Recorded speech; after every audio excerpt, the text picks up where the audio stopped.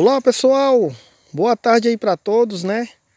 É, voltamos, chegamos para levar uma pequena informação para vocês sobre de algumas árvores medicinais aqui da nossa região. Mas veja só pessoal, ó, praticamente aqui o milho, né, já secou, né?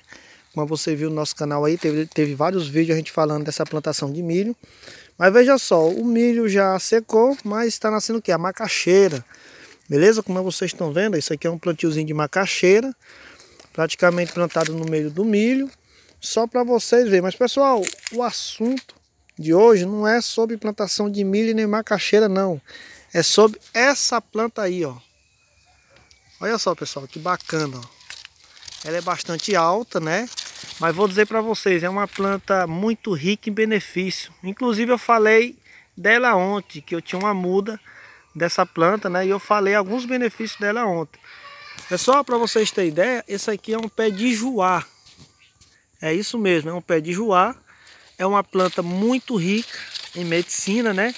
É, inclusive, pessoal, essa planta aqui é usada de várias formas, seja na folha ou na casca, beleza? Vou mostrar lá o tronco dela, o tronco para vocês verem onde é que a gente tira a casca do juá para fazer sabonete ou shampoo, usar como shampoo ou também com uma creme de pele e serve também como uma creme dental, beleza? É, é, muito bom, é muito bom a casca do joá com uma folha é, para a gente escovar o que? Os dentes, beleza? Usar como uma creme dental. Eu vou lá, pessoal, mostrar o tronco lá para vocês verem, beleza? Pessoal, como vocês estão vendo aqui, ó, aqui, ó, praticamente, é, aqui, aqui eu já tirei já umas cascas, né, que é para o meu consumo, beleza? É, eu vou dizer para vocês, é muito, pessoal, natural, né? As pessoas usar o quê? A casca do joá aqui na região do nosso Nordeste. Por quê? Porque é saudável, né? É totalmente natural da natureza, né? É uma árvore totalmente medicinais daqui do Nordeste. E mais uma informação, pessoal. O joá é uma planta do quê? Do Nordeste, uma planta nordestina, né? É daqui da nossa... É daqui do nosso Nordeste.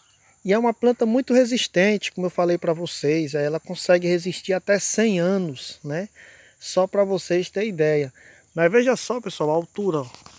Só para vocês verem. Ó, realmente, é que eu falei para vocês, é uma árvore que cresce de, de 2 a 3 até 4 metros né, de altura. Como vocês podem ver, é uma árvore muito alta. E pessoal, para quem não sabe, a casca do joá, como eu falei para vocês no outro vídeo, é muito rica em benefício, né? É, tem pessoas que usa é, com uma usa no shampoo, né, para combater a queda de cabelo, é, com uma creme de pele para proteger a pele. É, tem pessoas que faz o sabonete do joá e também a casca é, a gente tritura ela no liquidificador e usa como uma creme dental, beleza? Por quê? Porque ela é muito boa para combater é, as cáries, aquelas cáries que é, que dá no dente e são vários benefícios, pessoal. Se eu for falar tudo, o vídeo vai prolongar. Beleza? Mas como vocês estão vendo aqui, outro detalhe, pessoal. Ó, o pé de joá é desse jeito aqui, ó.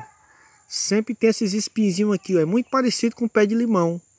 Né? Como vocês estão vendo, ó. Tem vários espinhos, né? Ó, os espinhozinhos. É, só para vocês verem.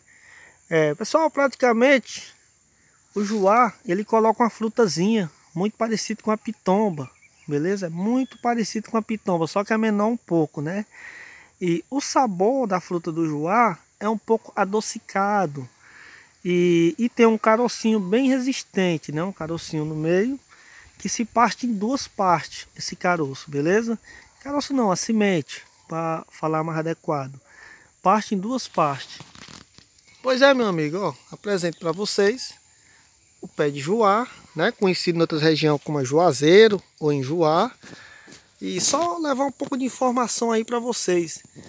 Meus amigos, espero que vocês tenham gostado, né? Que Deus abençoe grandemente aí a vocês. Continua se inscrevendo no nosso canal, que a gente sempre vai estar tá levando informações de plantas medicinais, beleza? Então é isso, meu amigo. Que Deus abençoe a todos e valeu!